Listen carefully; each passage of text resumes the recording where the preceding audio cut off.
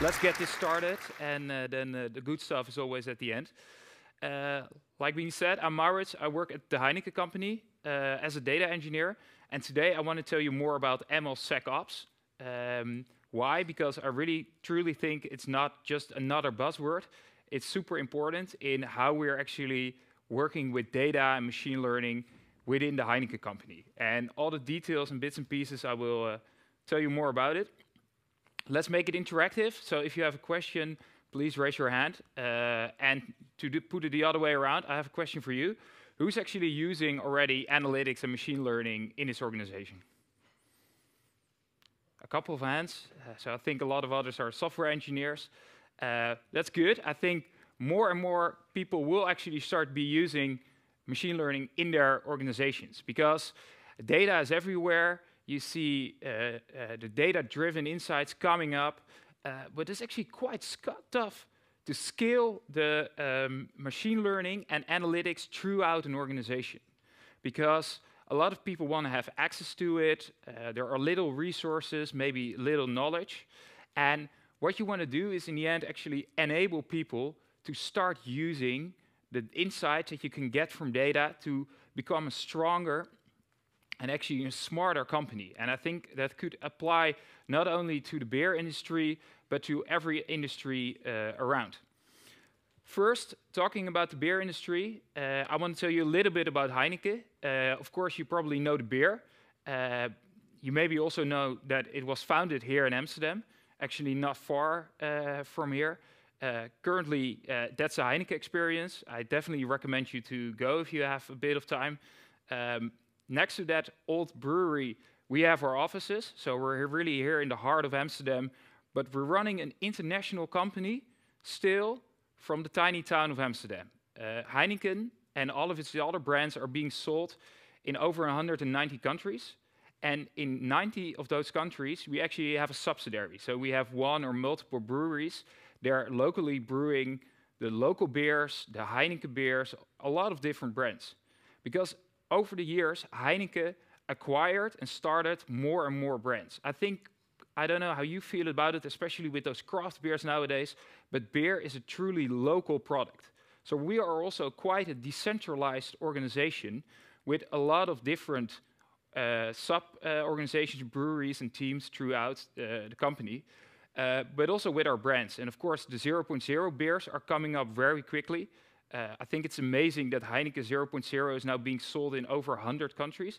And we have the ambition to make all of our brands available in 0.0. Um, but also Amstel, which is of course named after the famous river here in Amsterdam. Sol, Birra Moretti from Italy, Bintang from Indonesia, Desperados, and a lot of other brands that I cannot mention right now. But that's for us one of the interesting data sources to work with. And we do that with a team of experienced uh, data engineers, data scientists, analytics translators, and even also BI specialists. Um, we have our team here in Amsterdam, so that's a global team. But in every subsidiary, we also have local data teams where we collaborate together. And there you already see the difference between maybe more of the old way, how we would run the Heineken company with really local breweries, and more of this international scaled organization where we, from far more global, can come up with the uh, data products that we can use on a local level. Because if we cannot make the impact locally, if we cannot make your beer more tasteful, fresher, and uh, better served, then it's totally useless. Uh, what do we do? We work with our team of about uh, 100 people. We work on analytics cases of, of course, sales. We're a big marketing company. We ship a lot of beers, um, but we also analyze our breweries and the beer color, for example. Um, and we do that in a lot of different cases. If you want to know more about it, please come up to me. Happy to tell you more about that. But what I said, actually here today, I want to talk with you about how to make sure that everybody in that organization, for us in the Heineken company, can use data. Because our goal as a global analytics team is to enable an organization to access and uh, leverage data irrespective of their technical knowledge. And you do that by providing them freedom to use that data, but within boundaries. And those boundaries are set and enabled by technology And the way we do that and the way how we look at it is something that I'm going to share right here. I think most of you are nowadays familiar with development operations, with DevOps. DevOps has been around for years already. I think we cannot work in the software industry anymore in a scalable way without DevOps.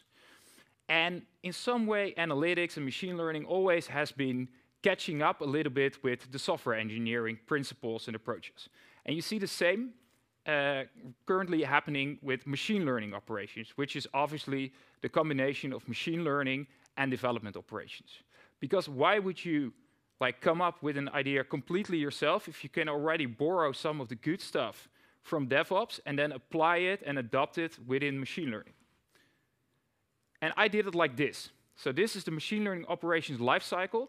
I designed it myself. Uh, you can read more about it also on a blog and a paper I wrote about it. It consists of four stages. Of course, without data, we're, no, we're nowhere.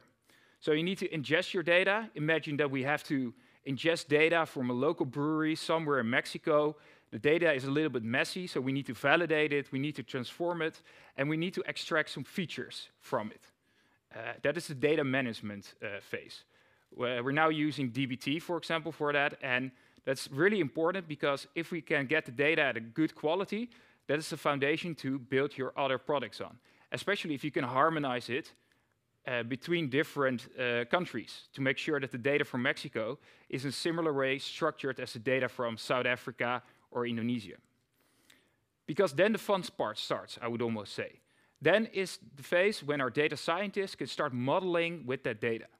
So they experiment, they check out the data, they train maybe their first model, they validate if that model is actually working. So for example, currently I know one of my colleagues is working on a model to uh, better schedule uh, our trucks, which are running uh, and delivering beer? Can we maybe do that in a more efficient way so that we have less trucks on the road, so also less CO2? Uh, and maybe not the first time, but in iterations, we optimize that model. So that's also why you see that this is in cycles. It's no, never that it's just a start and end, it's a continuation from the process. But if we're happy about a model, then we go and continue on and put, go to the development phase. Because in the development phase, we turn that model into a pipeline. And the pipe, that's actually not something that a data engineer does. We support with that process, but we want our data scientists to be able, with the tooling that we provide to them, to build their own pipelines. Because if they have to wait for us while they throw their code over the fence and me, for example, needs to turn that into a pipeline, that is Slack that we cannot use. So we build that, we test that, automate it in a pipeline, and obviously we package it and then deploy it via a CI/CD pipeline, again to our cloud environment. And then we run it. So we configure it. So we maybe configure that this pipeline is for Mexico and not for Indonesia. Uh, then it gets deployed to the right environment. We obviously monitor it, and uh, then we operate it. Uh, so these are the different stages. But if we look at the details, I've seen like in development uh, throughout the years now. And that is really more importance for security. Because if you have a super enthusiastic product owner who wants you to develop this new dashboard for logistics or sales, then actually um, you want uh, not at the end to think, start thinking about security. You need, really need to do that at the beginning. And Uh, so if you do that at the beginning, you have to shift left your security. So you really have from the start on, start thinking about what are the tricks and what are the dangers of security issues when I'm developing my, when I'm ingesting my data, when I'm developing my model, when I'm deploying my pipeline. Because if a team, let's say our market team, marketing team is depending how we should run our Champions League ads based on one of our dashboards, and it goes down because of a security issue, then we have a big issue with their adoption and trust into data analytics. And I use ML MLSecOps for that, machine learning security operations. And we have actually, I took five takeaways here, which I think are super important when you thinking about this machine learning lifecycle from a security point of view. those are, to start with, the separate environments. So the old DTAP structure. We also use a DTAP structure. So we have a development uh, environment, then we have a test environment, an acceptance environment, and a production environment. And in this development environment, environment our data scientist has a lot of freedom. Freedom to access the data, freedom to ex uh, experiment with the data. But actually from the test environment onwards, all pipelines are only deployed uh, with CI/CD pipelines. So we automate that process. One other takeaway is uh, the package management, because you don't want some vulnerable packages to end up in your code and maybe uh, steal your data, infiltrate your system, or in any other kind of way. And nowadays, we're depending so much on open source software that is something that we cannot check ourselves anymore. I think most of you are familiar with the log4j issue. Um, earlier on, we really had to check manually, hand by hand, if any of our pipelines was using a log4j or similar vulnerable package inside. And maybe back in the days it was still possible, but if we're running solutions for over 100 countries in dashboards and multiple solutions, we cannot check it one by one anymore. So this is one of the clear examples where actually also machine learning and AI is supporting our uh, process itself. Um, and that's also with observability. Uh, logging is, has been something we're doing for ages now, but we now want to extend it more. So observability is really the understanding, the deep understanding of what your solution is about, what are the possible risks, but also if a failure uh, exists, how to tackle it and how to fix it.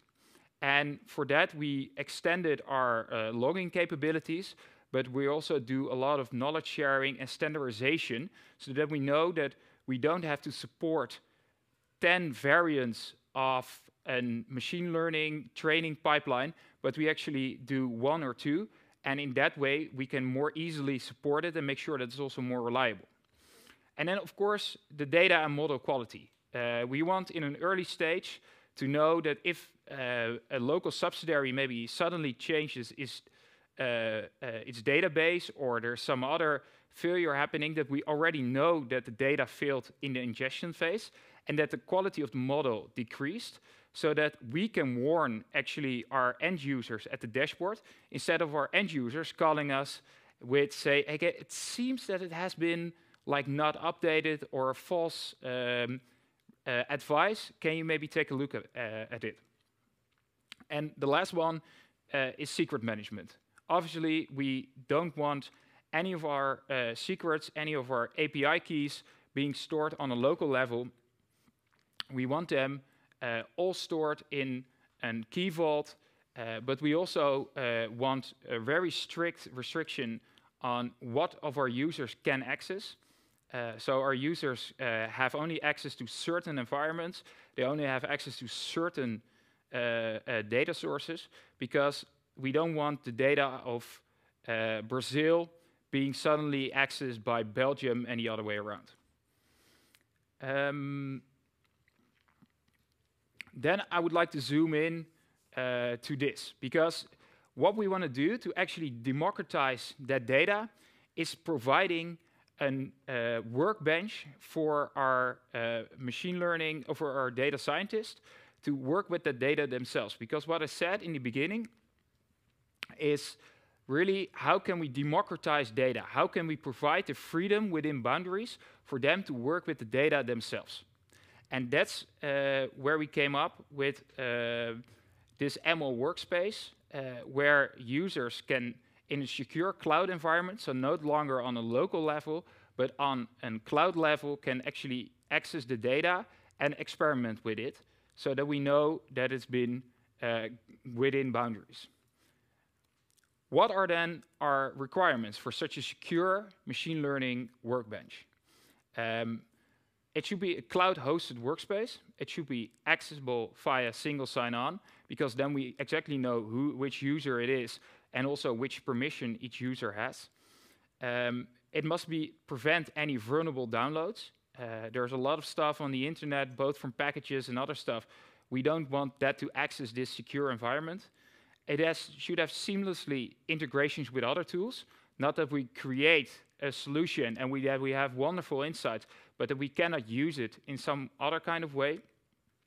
And in the end, we want to have policy controls, and we, of course, want to have this enforcement uh, automated.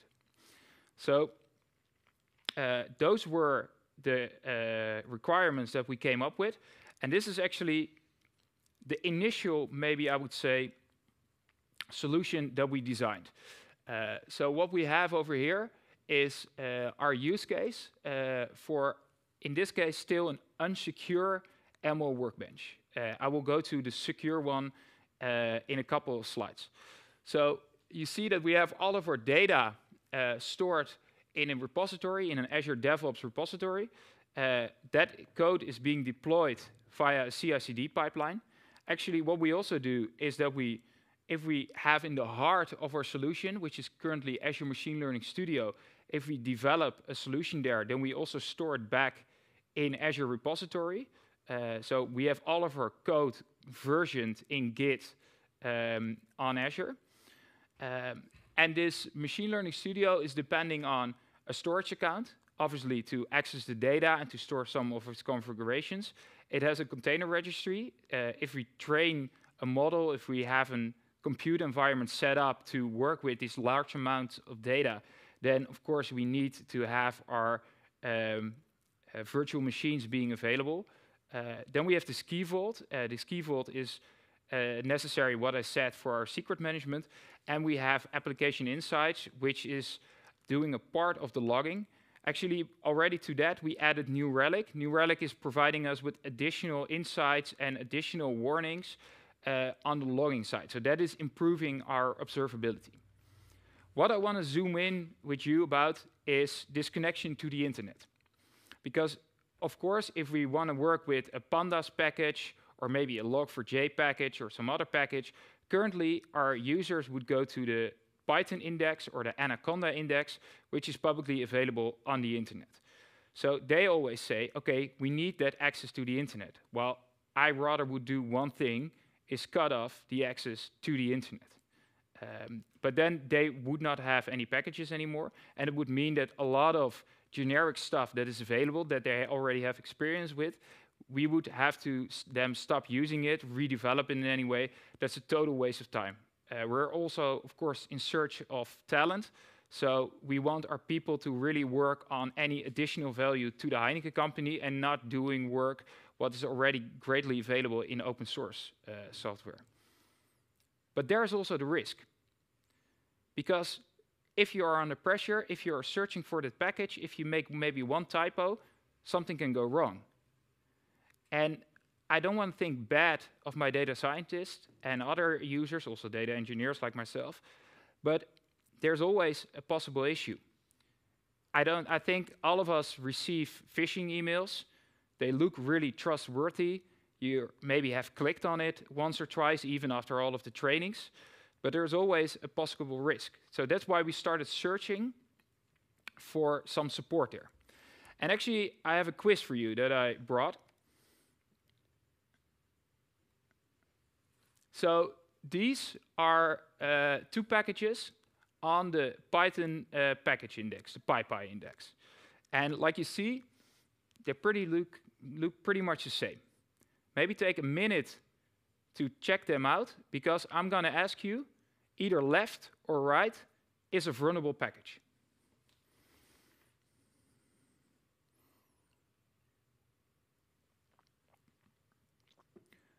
All right, so if I would ask the audience, who would think that this AOI HTTP SOCKS 5 is a vulnerable package? And who would think that this AIO HTTP SOCKS um, on the right, uh, for, for you on the right, it's actually the vulnerable package. And who has no clue at all? Luckily, one is correct. The other one is actually uh, is actually a vulnerable package. Uh, I borrowed this example from the Sonatype blog, and what you see right here is the with the addition of number five, is a vulnerable package. It's actually aiming to infiltrate Windows machines, and in that way to infect it and maybe even steal your data. You could maybe see it because uh, it has some, uh, it has been uploaded uh, quite recently and updated. Um, but how often do you check the upload date? Or are you going to go over all of the version controls and other stuff? Uh, I can also not ask all of my data scientists to check it. And even there's another issue. Maybe, because it's open source software, somebody infiltrated a trustworthy package with their inf uh, infected software, and then something that you trust uh, before is now an issue. So because we don't think we can like invest our time and make sure that we have always check it one by one, we need some kind of a virus scanner. And that's where Sonatype comes in. So what we now use, we earlier checked out uh, JFrog, but we nowadays uh, use uh, Sonatype Nexus Firewall. And this is really for us a firewall in package management. Uh, so what it does, it's a, an, a wall between the internet and the packages that we use. And of course, some packages, there's no issue at all. That's the green line. We know it's safe, uh, it can enter the pipeline, it's good to use. And then we have the uh, suspicious area, where actually the packages uh, enters a quarantine, and uh, the Sonatype uh, team is going to check it, sometimes even with their uh, human research team. And if they say that it's a vulnerability, it gets blocked and it's unavailable. And from, of course, known uh, vulnerabilities, those get blocked right away. And in that way, we, all the way at the right, know that the packages that we actually use in our solutions are trustworthy and are scanned, even if things comes up. What, sorry? At that time, at that time absolutely. Uh, and it gives us also an opportunity to, if something comes up, that we can directly see all across the system um, with a central point which packages are maybe using a vulnerable uh, issue. So if we go back to this image of the secure machine learning workbench, is there we set up on our own cloud a Nexus repository, which functions as a package index, together with Nexus Firewall, which is actually that scanner of all of these packages. And that is our restriction um, to the internet. And to be honest, sometimes our data scientists are quite scary about that. But we had to explain it to them. Uh, the Sonatype with uh, Ryan, who's sitting over there, actually also joined us to make them more and more aware of uh, what the issue is and why this is actually a thing that is coming up. And now they actually see that it's taking away issues from them instead of that it's um, blocking them in their further development.